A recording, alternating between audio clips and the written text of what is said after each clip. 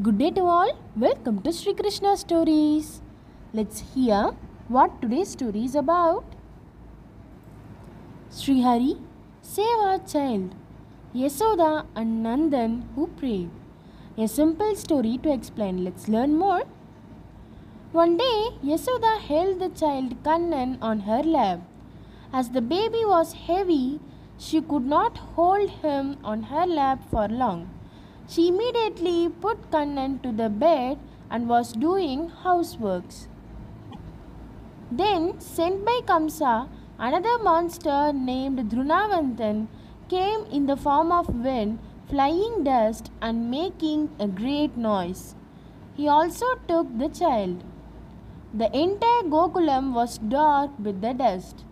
In the darkness, where nothing could be seen, Yasoda lost sight of the child and cried. Her cries echoed everywhere. On hearing Yasoda's cry, the shepherds came to Nandagopan's house. Everyone started crying as they could not see the child.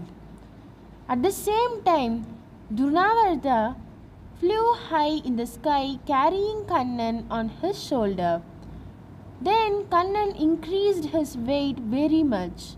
Unable to bear his burden, Drunavartha became slow.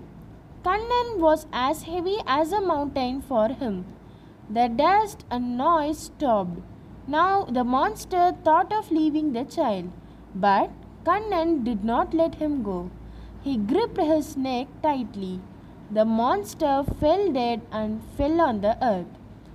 His body fell on a rock. Everyone who came crying saw the child who was laughing and playing on the top of the monster's body. The monster fell on a stone and died.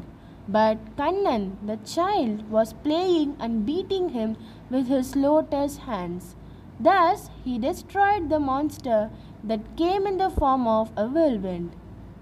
They took the child who looked like a blue gem on the mountain. Nandagopan and others were happy. Everyone hugged and kissed the baby. Sensing the gopis' intention to lift him, Kannan automatically jumped and played in their arms. Yasoda, Nandan, and others said, Sri Hari, save our child. They prayed. Also, they said to themselves, We have done many merits in our previous birth, that's why the Lord is saving our child from danger. They thought that even after the monster took the child, they had got him without any danger, and they were amazed. Sarvam Sri Krishnarpanam.